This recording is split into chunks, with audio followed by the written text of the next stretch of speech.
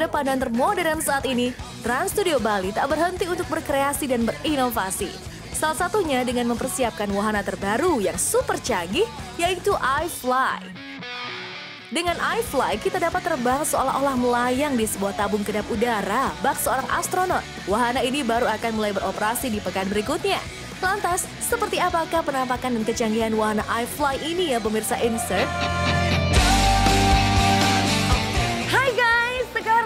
Jesslyn masih di Trans Studio Bali dan sudah bersama salah satu orang penting banget yang terbang jauh-jauh dari Texas. Siapa lagi kalau bukan Anthony? Hi, how are you? I'm great. How are you? Thanks for having me. Maybe can In you Indonesia. please introduce yourself to our people here? Absolutely. Uh, so my name is Anthony Joya.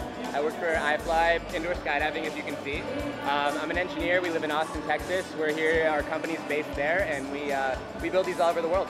So what you do is you fly all over the world to check out the iFly and show some stunts. Well, we fly over the world to let people fly all over the world. So we're here to, to build the machine, to test it out, make sure it's safe and perfect for everybody else, and then we go on to the next one. And then we hand it over to the professional flyers so they can teach all the students how to do what they do. So can you please tell us how to play and maybe some safety alert for people who want to pay attention to while playing the iFly? So the machine is pretty safe itself as long as you're paying attention to your instructor. So All right. It's basically like going to a skate park or a swimming pool. Um, it's a lot of moving air, and your instructor is who keeps you safe. So listen to everything they tell you. Um, it's very loud in there. They teach you some basic hand signals like how to bend your bend your legs, straighten your legs, relax. Relaxing is very important. And uh, yeah, if you listen to them, you follow the instructions, and you relax. That's that's pretty much it. Wow.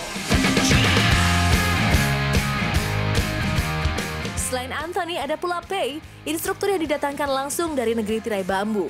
Untuk keperluan memperkenalkan iFly ini kepada publik, Pei akan berada di Trans Studio Bali selama dua hari.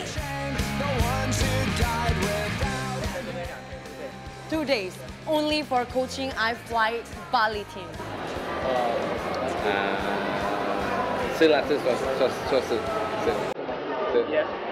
Oh my God, thank you so much. Tentunya para pengunjung tidak sabar untuk mencicipi sensasi seru dan baru bersama iFly.